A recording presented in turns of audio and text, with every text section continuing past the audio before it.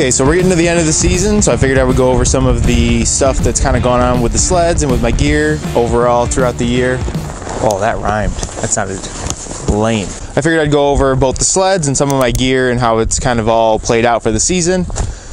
So first things first, I did add a few things to my personal FXR collection this year. I have the M Clutch FX pant. This is my first set of FXR bibs that I've had really good fit. They uh, are not zip up up the whole leg, so they only go up to probably halfway up your calf. But because of that, they don't tend to bunch up as much on the hips. Uh, overall fit feels really good. They're not the type of pant that you feel uncomfortable walking around inside in because the fit is like almost just like any other uh, type of pant you might be wearing. They come up to a little over your belly button as far as on your waist goes. So that's much more comfortable than the ones that are like halfway up your chest or even over your chest. Fits better under the jacket. And for me, that fits much better with my chest protector underneath my jacket. Okay.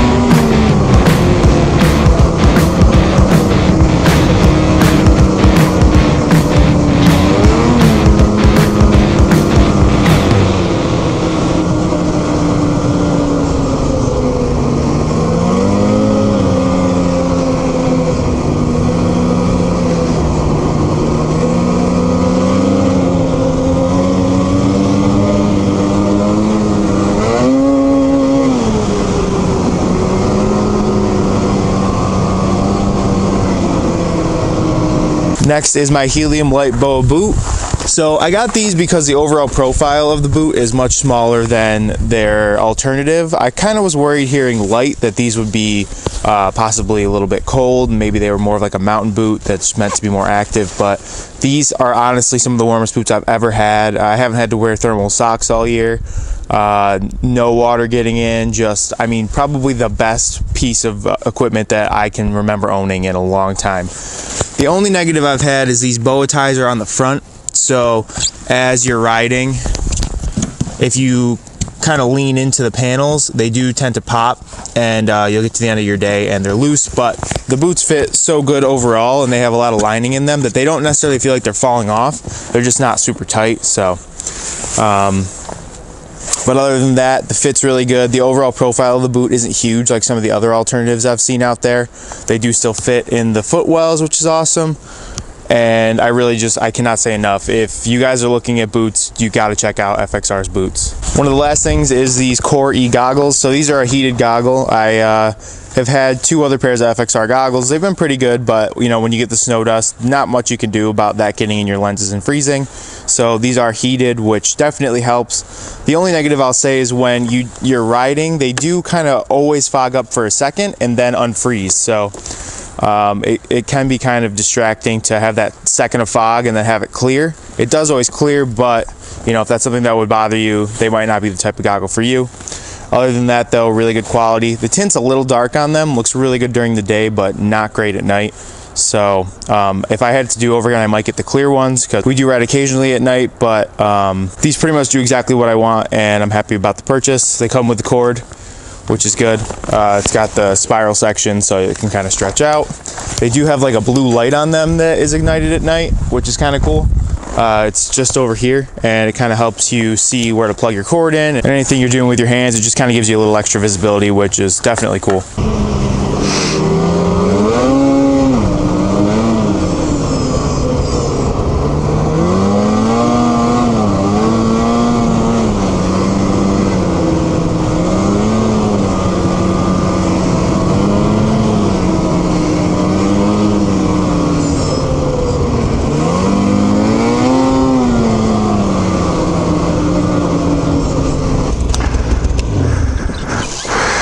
If we go if we go right, we'll hit trail five, and then you just get right over to Daikers. This is uh, like a little bit longer, but the trails were pretty good, so I just kind of figured. Yeah. Yeah. Yeah, we were up a couple weeks ago. They were kind of rough, and I was like, man, I hope they're not like that. Yeah. So I'm like, I'm you know flying over moguls to get over because when you go slower, it sucks. Yeah. So I'm like, yeah, it's gonna suck if it's like that, but it's way better. Yeah, for sure. Especially, they'll be good for now, and then as soon as you get after lunch, they start to get a little dicey. Yeah, That's all. Yeah, that's all like coming up during the week. yeah. Oh, yeah, during the week is great. Okay, so now for the sleds overall. Um, you guys have definitely seen a lot about the Riot. I did end up looking back into the um, error codes. I did end up coming back on. I was able to fix them. There's a spot under the steering column where the wires actually contact the back of the pipe. Aha, there's the culprit. Check that out. So it's going to be the set of wires up under your pyramid for your steering column. So you can see right there, it just falls right on that wire and uh, starts to burn through them. Go figure. What a dumb design. and they did melt. I was able to kind of pull them back, zip tie them up, and uh, tape them off. That problem's gone away. Uh, I've talked about the decals peeling. You can see right here, this is where the decal peeled. Um, pretty much the only spot on the whole sled, so you know, all in all, not too terrible. Um, I've noticed I haven't had too much of that happen with Ski-Doos and Polarises. It's definitely a little bit more of an Arctic Cat thing, and you can see it didn't happen on this side. So I sometimes wonder if that's caused again by the exhaust getting so hot, which has kind of always been an Arctic Cat thing as well. Um, I did already go through a set of carbides. The four inches went, but I can't really hold that against the sled. We rode a lot of crap in January, so kind of my own fault. But other than that, sled is definitely improving on gas mileage, able to get um, 12-ish, no problem now. Oil mileage has calmed down a lot, which is definitely a plus. So a lot of the little uh, quirks that I didn't really like around 500 miles and around when it had hit 10 hours, even though it's out of break-in, um, are definitely calming down and getting a lot better. Uh, the ergos are still, I'm still iffy on them. And like I always say, the ergonomics are personal preference. My girlfriend and I both kind of prefer the Polaris. My dad definitely prefers the Riot, and my buddy Kevin was kind of in between both. So, you know, that's my perspective on them, but you can absolutely take it for whatever you want. And uh, you, you gotta, you gotta figure out what works best for you. Good?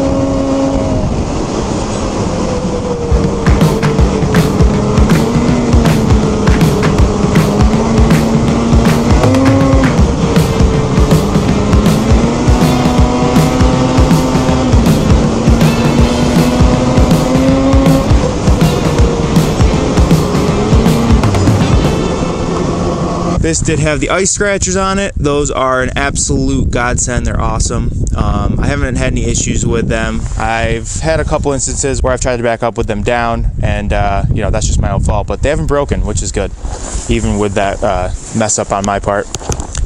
QS3s have been incredible. I love those shocks. Uh, they work their best, in my opinion, on the middle setting, which is cool. So if you want that little bit of extra stiffness, it is there. Or if you want to really just cruise one day, it's there. But you know, you're not like some other shocks where you're maxed out um, on the lowest setting to try to make it comfortable.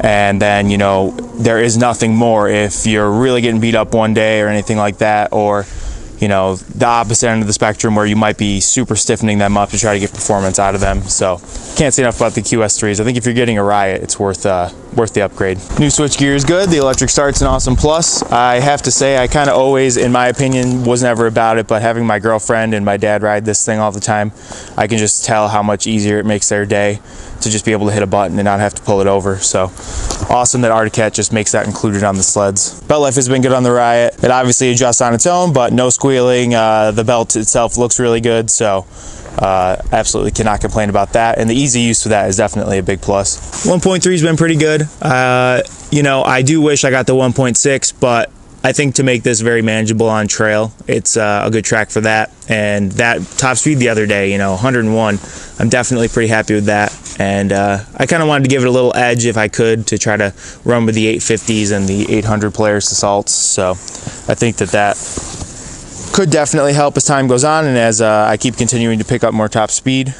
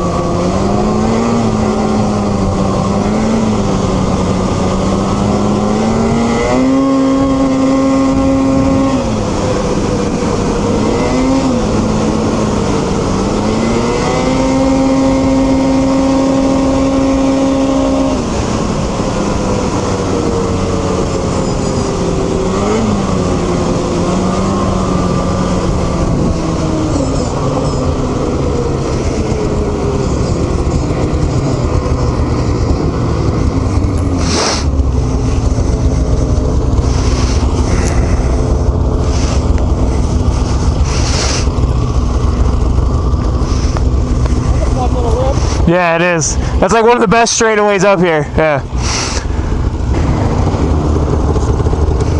You looking for something? Uh, Big Moose to the restaurant on the lake. Um, you can go down here and get on Trail 10. It's going to be a left, and that'll take you pretty much almost there. You're going to take a right at the end of the trail, and it's probably 1,000 feet. Okay. Yeah. Thank you. Yep, no problem. So on the Polaris, I'm at 1600 miles. Uh, the sled has been really good overall. I had swapped out one set of spark plugs right when the season began just because the sled had all summer. Always good to have fresh plugs in it. Uh, adjusted my belt deflection. Uh, belt life has been really good. It's been wearing really nicely. I did have a little bit of wearing on my seat. It was kind of like right through here. I'm having trouble seeing it in this light, but uh, definitely something to keep in mind. I don't know as time goes on with these how that they'll uh, hold up. Hoping it picks up on camera. You see right, so look at this part of the seat here. Looks really good, really good. Then you get to here and you see kind of where you're obviously on the seat the most. There's all these kind of like wear marks in it. Um, I just kind of wanted to show it off because it could be something that as these axes continue to age could become a problem. But uh, yeah, it's definitely interesting. You can see like nothing, like not too bad, just like kind of the a random little scuff here there, and then as you get to here, you can see a pretty decent wear mark, and that's only in about 1,900 miles. So could end up being a big deal if you keep a assault for like three, four thousand miles, or any Polaris sled for that kind of distance. But for me, it hasn't really been the end of the world, and we'll see what I end up riding next year and if I'll even have to worry about it. The 1.6, awesome track on the sled, uh, still has really good top speed, really good in the deep snow, really helps it uh, pull itself up on top of the snow. And honestly, I would not pick any other track for my personal riding, but I think, you know, with the two inch, you could definitely play a little bit more. And with the 1.3, if you're trying to get a lot of top speed and kind of make it as good a trail sled as you can, uh, this will do it.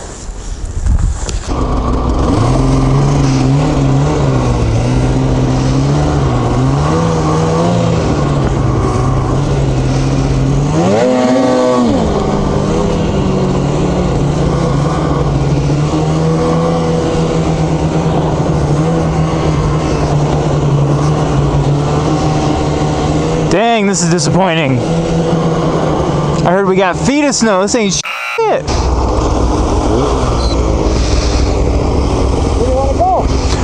Um, I figured we'd head towards Inlet. One sec. Inlet? Yeah, yeah. And then, uh, if we want, we can we can try like Moose River Plains for a little bit. I with them riding two up, I just don't until we go, get there. I have no idea. Yeah. All right. Does she want to drive?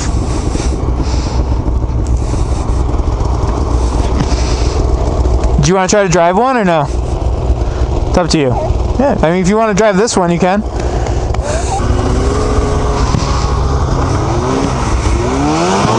Woo! That's why I, I told her, I'm like, when you do it, it's easier to like kind of pump it as you go along instead of just pressing the gas because it gets built up and goes. Yeah, for sure. Uh, yeah, it wouldn't have been good having her on the sled in the trail. No, it's a lot to learn. Yeah. The best is like when you can start by like a big field or something that they can warm up in. I'm like, I'm like, all I want to do is take you on the Fourth Lake, you know, and let you go around, mess around. That's what you need an open spot at first. Yeah, for sure. Be going through trees with bunks and shit up No, no way. yeah. there.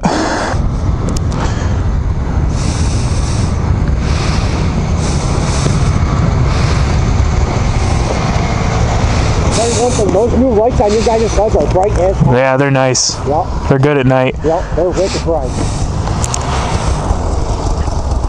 How, how'd it go, champ? Yours is so much easier to maneuver. You think so? oh my god, yeah. It's so much like um like lighter. Yeah, it is a much lighter sled. Like I think the Arctic Cat's just really tall. So Yeah. for you know someone who's like five four, Yeah. like like this, Mm-hmm. This is just so much easier. Like I don't know if you saw me out there, but I was kind of Getting a little spicy with it? lean in and get I have noticed as an overall package, the Assault is pretty stiff, so I always kind of never thought anything of it. I just kind of preferred it that way. But, you know, when my dad gets on it, he definitely talks about how stiff it is, and my buddy Kevin said the same thing, and other people have definitely complained about how stiff Assaults are. Uh, so definitely don't go into an Assault expecting a super soft sled. The Mountainside Product spindles have been incredible. I appreciate them for working with me this season. Uh, they're a little difficult to swap out, not so much because of the spindles at all, just because of these C&A Pro skis going on and off. They're just a pain. Um, but the spindles themselves, you know, the bushings adjust super easily. The wide feels incredible. The middle feels really good for still being narrowed up. The full narrow is obviously very narrow, but still trail rideable. Um, obviously, I just wouldn't tell anyone to plan to use it that way all the time if you want to get the most trail performance out of your sled. So definitely feeling a pretty big difference with the full narrow. Um, as I kind of come into corners, that catch point of where like the ski lift happens is just so quick that I really have to set up for a corner. Uh, definitely more than before. So I can see big pluses to the adjustability, and I don't think I'd ever want to be typically 40.5 inches wide. It's definitely a pretty narrow ski stance for this sled especially just with how the front end geometry on the Polaris is, you know, to kind of lift the inside ski but force the outside ski down into it more.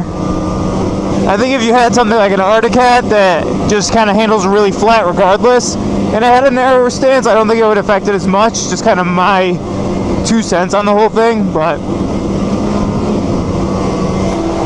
The C&A Pro XCSs have been really good. Um, slow speed steering is definitely very heavy with them. If you're looking at them, I would maybe say go for the Razor or the XPT if you don't want to have to really put a lot of input at slow speeds. And I'm talking like under 15 miles an hour. You just really have to force the skis to turn. But on trail, it's like being on absolute rails. The flotation's really good. It does help the ski maintain edge very well, which I think is a big plus by the uh, profile on the bottom of the ski. Uh, they do wear out just like pro steers, you know, they wear out kind of towards the front, uh, but that can be adjusted with bushings if that's something that bothers you. Uh, but putting them on and off is a pain. So if you do get these spindles, you might want to look at grippers because you'll spend a lot of time trying to put these skis on and off, whereas the grippers and the pro steers just go on and off way more easily.